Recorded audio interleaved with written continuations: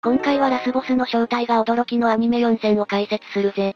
意外な人物が最後の敵のアニメだ。原作のないオリアニでそういうのやってほしいよね当然ネタバレありだが、ただし一部の作品では革新的なネタバレは避けるぜ。これは見てほしい。って作品の場合ね。最初は2011年のシュタインズゲート。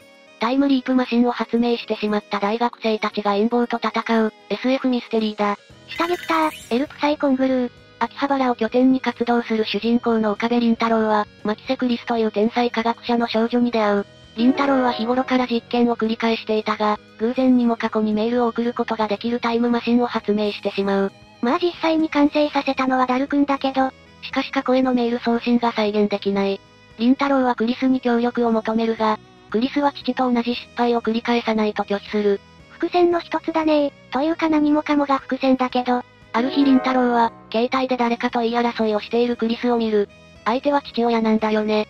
父親についての伏線、結構あるんだね過去へのメールが送れるようになったが、それを使うことで世界が改変され、秋葉原がオタクの街ではなくなってしまう。これ16ビットセンセーションでパク、オマージュしてたねクリスは科学者としての興味から、メールではなく人間の記憶を過去に送るタイムリープマシンの開発を始めるが、クリスは物理学者だった父にその才能を嫉妬されていて、タイムリープマシンを作ってしまったら、今まで以上に関係が悪化することを恐れた。凛太郎は自分が父との仲を取り持ってやる、とクリスを元気づけた。おかりん、遺体中二病やろうと見せかけてねはナイスガイやな。タイムリープマシンが完成したが、険性を考慮し、林太郎は自分たちで使わず世間に公表することにした。世間に公表しても大混乱が起きそう。だが研究室にタイムリープマシンを狙う組織、セルンの工作員が乱入し、椎名真由里が撃たれて亡くなる。マユシーが、林太郎は過去に生き真由里を救うために、ぶっつけ本番でタイムリープマシンを使用する。この最初の過去へのタイムリープが13話だが、下着はここまでが長いと言われるんだよな。無駄な描写があるわけでもないけど、ギャグを抜いたらつまらないし。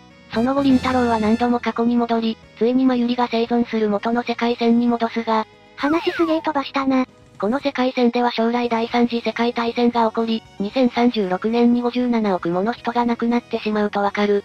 どうあがいても絶望。大戦が起こる原因は、クリスの父が彼女のタイムマシンの論文を奪ってロシアに亡命し、それがきっかけで大国間の争いが起きたからだった。クリスの父がこの物語のラスボスだと言える。ろくでもねえ親父だ。このクリスの父が実に意外な人物で、ああやられたと驚くんだよね。ほんと見事なオチだぜ。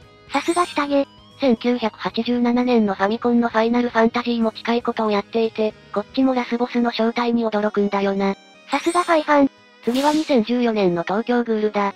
人間を食べるグールとの戦いを書いたホラーバトルだぜ。人気作だけど、アニメ版が不評で進撃や鬼滅になれなかった作品という印象も、一期の一話で主人公の金木健は、上白リゼという美女とデートをするが、花江夏樹さんと花沢香菜さん、お似合いや。リゼは実はグールで、剣は食べられかけてしまう。文字通りの意味での食べられるは勘弁して。ところがリゼは突然、工事中のビルから落ちてきた鉄骨の下敷きになってやられた。最後まで復活もしないぜ。さっきの下着の眉シに続き、ザーさん受難やな。だが剣も巻き添えで重傷になり、リゼの臓器を移植された。そのせいで剣はハングールになってしまう。幸運なのか不運なのか。この後剣は人間とグールの戦いに巻き込まれるわけだが、3期の8話に、古谷村という下っ端の特に目立たない男が出てくる。モブかな ?11 話で二村は味方を盾にするせこいやり方で勝利する。12話で二村は上司がやられて泣いたふりをしつつ、にやり。お伏線か？13話で三村は囚われのグールに人肉を差し入れて、グロいと少し話題になったが、原作ではここでケントリゼに鉄骨を落としたのが三村だとわかるが、アニメはなぜかカット。ええー、それじゃアニメの三村は薄いキャラになるね。14話で三村はようやくそのトップクラスの実力を垣間見せる。モブじゃなかったんかい。18話で三村はなんとグール対策局、CCG の局長になってしまう。何とんのか。22話、二村は東京に現れた怪物を報道する、テレビリポーターとして登場。やっぱふざけとるやろこいつ。最後の24話、ついにケンと二村の最後の戦いが始まる。本当にこいつがラスボスなのかよ。ラスボスのお約束の変身をする二村。この展開、もう何度見たことか。それでもあっさり負けた二村は、本当は普通に生きたかったという。いや、アブノーマルな生き方しかしとらんやろ。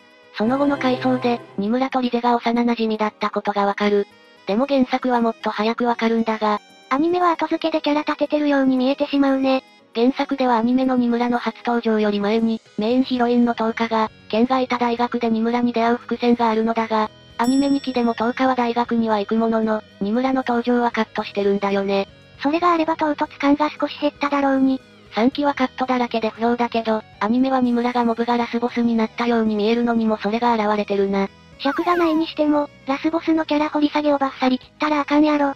次は2017年のアニメが足りず。アニメ研究会の高校生男女が、アニメの自主制作をするオリジナルアニメだ。これはマイナーアニメ。このアニメは一見普通のオタク男女の日常もので、2話では原作派とアニメ派の対立など、オタクあるあるネタをやる。面白そう。7話で白箱っぽいアニメ自主制作の話をやって、8話の学園祭で作品を上映した。これこのスバのめぐみんのパロー、高橋理恵さんがやってるのがすごい。ところが9話、アニケン部員の中のオーロラが裏切ったせいで、アニケンは廃部になってしまう。オーロラってすげえキラキラネーム、イケメンなのに。10話で学園長を説得してアニケンは復活したが、主人公の阿佐ヶ谷美濃は、アニメ的なことが現実に起きたり、オーロラが昔の学園長の卒業アルバムに、今と同じ姿で写っていることに疑問を抱く。オーロラくん、何者 ?11 は、ミノアは人の見た目がいきなり昔のアニメのキャラデザになったり、スレイヤーズ？画面のアスペクト比を4対3にする黒帯に、ぶつかったりしてしまう。なんでアニメキャラがアスヒを認識するんや。さらに投稿してから場面が瞬時に切り替わり、1分くらいで昼休みになったとミノアは周りに訴える。いや、アニメだからだけど、そこ突っ込むのメタすぎるやろ。しかし友人たちは気にせず、お嬢様キャラはキラキラエフェクトを人にあげたりする。それ見えるのかよ。ミノアの訴えに、ミナはシリーズ構成が変わったのかな。11はギリされるかもと、メタ発言を連発する。第4の壁を越えすぎや。翌日、ミノアは翌日という文字にぶつかってしまう。その文字、必要あるのかよ。アニメに侵食される世界を怖がるミノアを姉は、もう少しの辛抱よ、もうすぐ AD だからと慰める。いや怖えよ、ホラーかよ。オーロラはミノアに、この世界はもうすぐアニメに飲み込まれる、黒幕がお見えになったという。ついにラスボス登場か、一体何者？オーロラが従うこのアニメのラスボスは、このお方だ。え、誰このおじさん？この人は、このアニメの監督の森井健志郎さんだぜ。ええー、監督がラスボスなのかよ。最後の12話。オーロラがこの世界を私物化しようとしていた監督の手先になった理由は、自分の名前の設定を変える約束をしたからだった。そんなに嫌だったのかよ。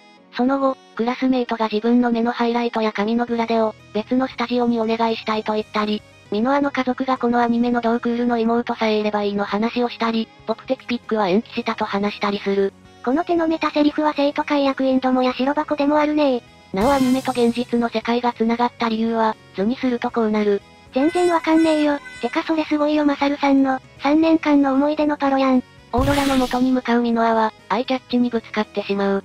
これマジックナイトレイヤースのパロディか。ミノアの存在は消えかけ、企画段階のミケネになって、その名前で呼ばれてしまう。うっわ、メタの極みやな。企画段階では音楽ものだったのか。ミケネはアニメ世界を変える力を持つ、監督のベレー帽を使う。監督、本当にそんな権限あるのかな？その力で現実とアニメの境界線の扉が現れて、最後はオーロラが諸悪の根源のベレー帽と共に、アニメの世界に去っていった。オーロラ先輩世界は元に戻ったが、オーロラは消えてしまったのだった。終わり。なんか猫耳の新キャラがおる。このアニメ、終盤のメタ展開が不良だったようだが、私はそこを含めて好きなんだよな。パロディも満載だぜ。途中までの2010年代版原始圏みたいな内容で、最後までやった方が、一般受けは良かっただろうね。最後は2022年のサマータイム連打だ。夏の孤島で死に戻りしながら陰謀を追うミステリーだぜ。サマレン来た、日本で空気、世界で人気。それ可愛いだけじゃない式森さんが、そのクールで4位が意外だよな。スコアは6.93と低いけど。イケメン女子がツボだったんだろうけど、主人公の男子の謎な不幸体質がなければ、かぐや様級になれてた？